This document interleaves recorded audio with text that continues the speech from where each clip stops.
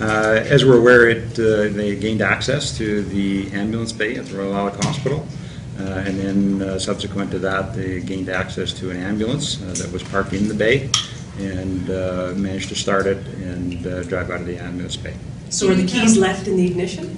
Uh, The ambulance bay is considered a uh, secured location for us, and so they are left in the ignition in the ambulance bay uh, so that they can be moved uh, so that it allows space for other ambulances to come in with patients so they can unload in warm areas. So as a result of this, are you looking at if you need to do anything different? We're reviewing the whole uh, case, uh, just to see from, you know, one end to the other, if there is anything else that we can do, or perhaps can do in the future, uh, that adds security.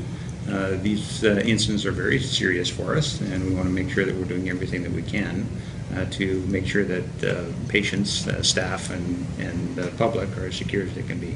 Can you tell us, was this a, a patient that was in the hospital, was, was she being treated, and, and where, how did she get into the bay in the first place?